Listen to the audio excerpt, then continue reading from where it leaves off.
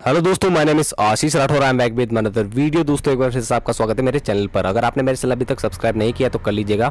चलिए बिना देरी के शुरू करते हैं आज की video dedicated freight corridor corporation of India limited D जो कि बना रही है डीएफसी ट्रैक्स इंडिया में।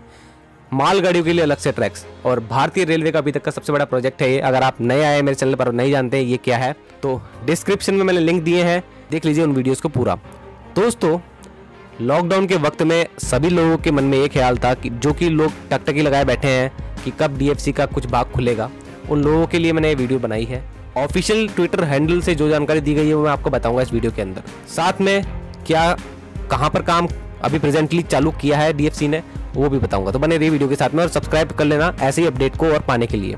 डीएफसी के जो एमडी हैं, अनुराग सच्चान जी, उनका भी इसी महीने के स्टार्टिंग में एक स्टेटमेंट सामने आया और उन्होंने, उनके स्टेटमेंट से ये पता लगता है कि एफ़ मूड बना चुका है पूरी तरीके से काम को धीमे धीमे स्टार्ट करने का।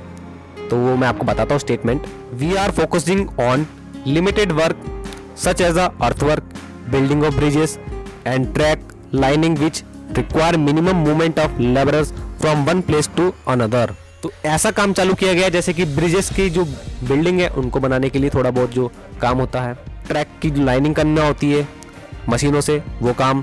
साथ में अर्थवर्क मतलब मिट्टी डालने का काम या फिर सरफेस तैयार करने का काम, सपाट करने का काम, जो कि ट्रैक बिछाने के लिए होगा, वो सारा काम चालू हो चुका है। आप बैकग्राउंड में जो फ़ोटो देख पा रहे हैं, ये सभी फ़ोटोज़ अभी अपलोड की गई हैं D F C C I L के ट्विटर हैंडल द्वारा।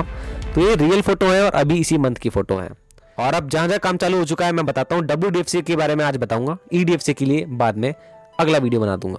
तो दोस्तों, सबसे पहले पालनपुर तक की जानकारी आपको चाहिए थी, जो कि मदार से पालनपुर तक का काम चल रहा था 90 परसेंट फ़िज़िकल जो काम हो चुका था वहाँ पे और जो इलेक्ट्रिफिकेशन वगैरह का जो भी काम छोटा मोटा रह गया, उसके लिए अब मार्च में मैंने जो एंड में बनाई थी कि कितना काम मार्च में हो गया, उसकी वीडियो आपको डिस्क्रिप्शन में मिल जाएगी। और आप बात करते हैं डीएफसी के गुजरात और महाराष्ट्र में जो चल रहा है काम, उसके बारे में। उसी के बारे में मेनली बताया भी गया है।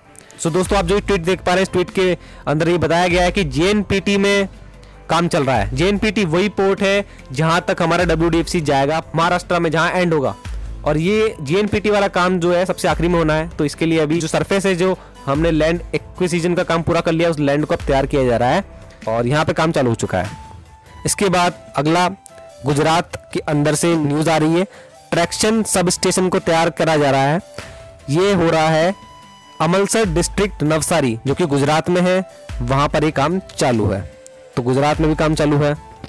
अगला है बीएफसी की जो मुंबई की साउथ यूनिट है, वहाँ पर कलम्बोली वाइडक्ट जो एक बनाया जा रहा है, उस वाइडक्ट का जो काम है वो चालू हो चुका है और पूरी तरीके से प्रोटोकॉल्स का पालन करते हुए इस काम को चालू कर दिया गया है।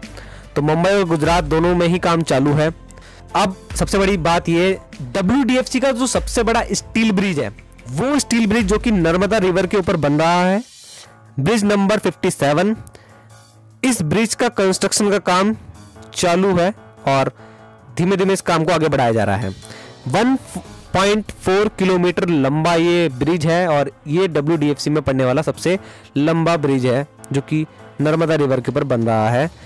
ये बन रहा है भरूच डिस्ट्रिक्ट, जो कि गुजरात में है। वहाँ पर ये बन रहा है। इस तरीके से यहाँ पे ट्वीट में जानकारी दी गई है।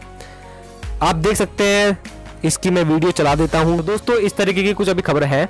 ऐसी बहुत सारी खबरें हैं वीडियो धीमे धीमे आते रहेंगे, मेरे चैनल के साथ जुड़े रहिए। और देखते रहिए इस वीडियो को और अपने दोस्तों के साथ शेयर करना।